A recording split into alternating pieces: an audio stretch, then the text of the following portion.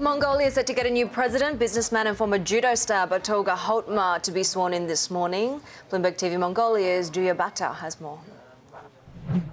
Battulga Khaltmaa clinched victory over Parliament Speaker Enkhbold Miyegombo of the Mongolian People's Party after winning just over half the ballots cast. He succeeded Tsakhiagiin Elbegdorj, also of the Democratic Party, as president for the next four years. Battulga is one of the wealthiest and most famous individuals in Mongolia and won widespread admiration for his achievements in sport and business. He also commissioned a 40-meter-high statue of Mongolian Emperor Chinggis Khan, which stands outside the capital Ulaanbaatar. All that said, Battulga will assume the presidency amid swirling allegations of corruption from multiple past business deals.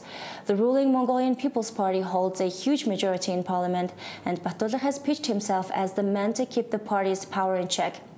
While he may have to abandon some of his more extravagant promises, such as paying off the debts of every citizen, he maintains a pledge to create jobs and tackle Mongolia's wealth gap.